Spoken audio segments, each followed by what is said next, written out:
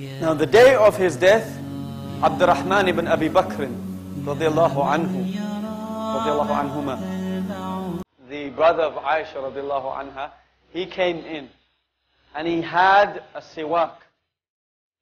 And the Prophet of Allah sallallahu you know how he used to like using the siwak. And Aisha radiallahu ta'ala anha knew her husband. And she took this siwak, or she asked the Prophet ﷺ, would you like this siwak? He said, he nodded. So she took the siwak from her brother and she bit off the end to soften it. And then she gave it to the Prophet ﷺ. She said, by Allah, I never saw him. He always used to clean his teeth in an amazing manner. But this time, it was as if he was preparing to meet his Lord. And then he's cleaning his teeth in that way. And she used to boast about it afterwards. She said, Allah subhanahu wa ta'ala combined between my saliva and his saliva, sallallahu alayhi wasallam, just at the time of death.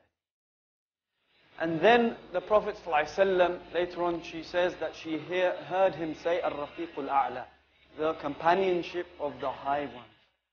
And then she said at that time, she remembered the hadith of the Prophet ﷺ earlier on, he had said that no prophet forsake except that he's given the choice between this world and the hereafter.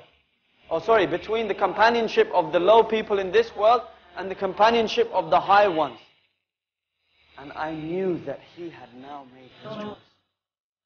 And with that, the Prophet ﷺ then said, "Allāh inna lil mawti sakarat. He said, he, he, he, he, he felt some pain and he said, indeed, death has its pangs. And then he closed his eyes, sallallahu alayhi and Medina fell into panic. Medina fell into panic. You can imagine, okay, imagine the very sun whose light came up and he, through Allah's will, guided them from the darknesses of kufr and shirk, from the worship of idol, wood and stone, to the worship of Allah subhanahu wa ta'ala. From the servitude of other human beings, from the servitude of idol idolatry, to the servitude of Allah subhanahu wa ta'ala. From darknesses of injustice and kufr and shirk, to the light of Islam and justice and tawheed. This person whom they sacrificed, they were willing to sacrifice their lives. Indeed, many people from among them had sacrificed their lives. When Abu Bakr radiallahu ta'ala anhu was beaten and beaten and beaten until he was unconscious. When he regained consciousness, what is the first thing he said? How is Rasulullah sallallahu This is the kind of people we are talking about. This is the kind of people whom the Prophet ﷺ was placed among. They loved him so dearly.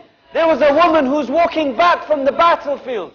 She is told that your husband has died. She says, how is Rasulullah ﷺ? She continues walking. She is told, your father has died.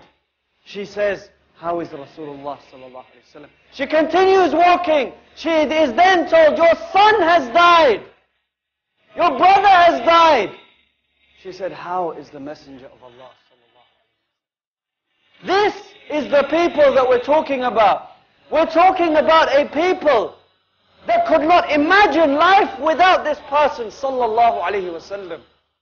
A person who came to them from Mecca to Medina, a person who went through the trials and tribulation that they also faced. A person who was the undisputed head of the Arabian Peninsula at the time of his life. But when people came, they couldn't tell the difference between him and anybody else in the way that he behaved, in the way he dressed. Sallallahu alayhi wasallam. The same person